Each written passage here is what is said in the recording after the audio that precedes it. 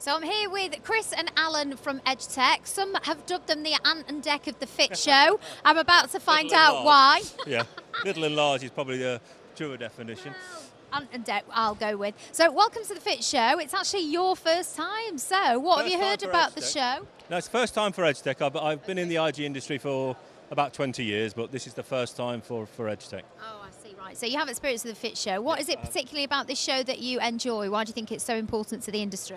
Well, I think it's it's now the, the UK show for the fenestration industry, and it's grown significantly. We're moving to glass uh, to the NEC next year. Oh, Um, big news. Big news, and, and EdgeTech have always been a, a supporter of the show, and we're one of the first people to to commit to the show.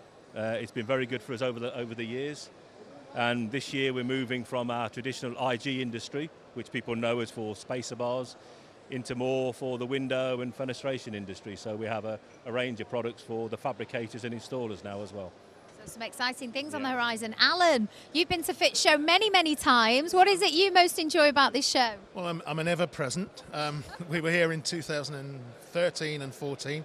Um, this year, I think it's excelled itself. Um, when the, the first one took place, we had a, a double decker stand, and that was like revolutionary. And uh, now they've all got them, haven't they? Um, Now look at you. the stands are amazing, um, and there's a lot of people coming through the door, so it, it's great stuff. Um, as Chris said, it's the show for the fenestration industry.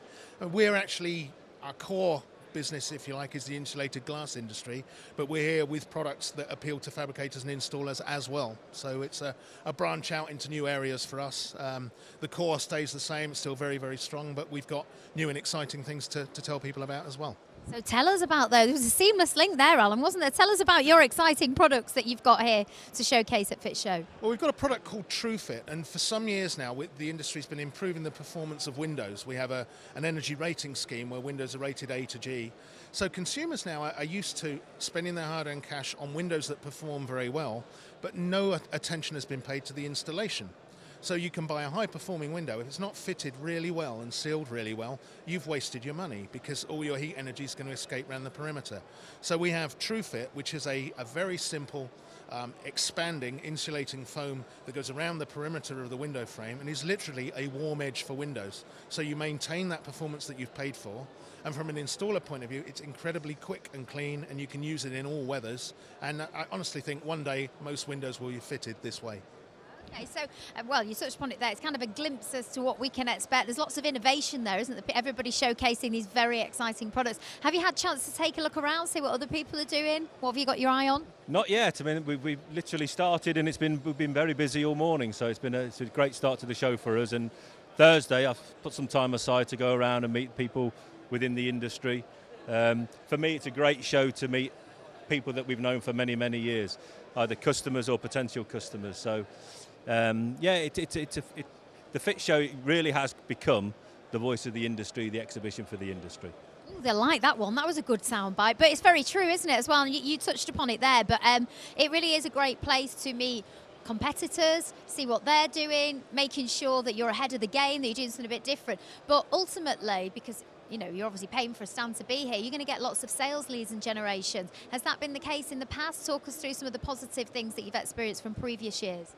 It- It's certainly been the case in the past. It'll be the case again this year. But I think there's more to it than that. This is an industry that's that's matured. It's an industry that's having a resurgence in ideas. I mean, all the systems boys are here. They've all got something new and exciting. So many new products. People have pushed the boat on- on stand designs. Even some of the smaller stands that may be simpler are fantastic. Um, you look at the Mila stand just through there with their trees, with their, their coloured handle. Absolutely awesome.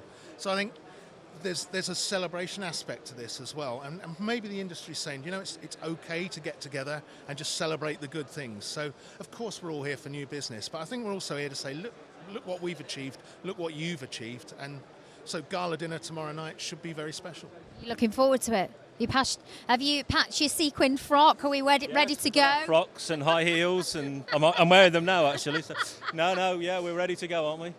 The double I'll act. stay away from that issue. Yeah. I told you, I'm not comfortable with trans and gendered. No.